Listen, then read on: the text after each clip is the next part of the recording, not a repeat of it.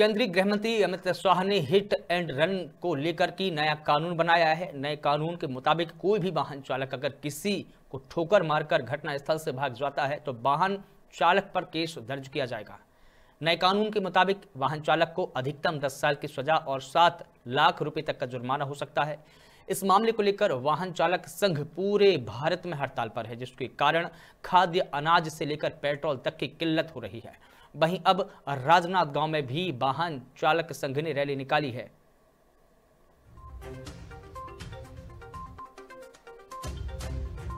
आज जो हम अमित शाह जी ने गृह मंत्री हमारे, जो हमारे लिए ड्राइवर के लिए बहुत गलत कानून लगाए हैं, जो कि काला कानून हमारे लिए, जो 10 साल की सज़ा और सात साल जुर्माना।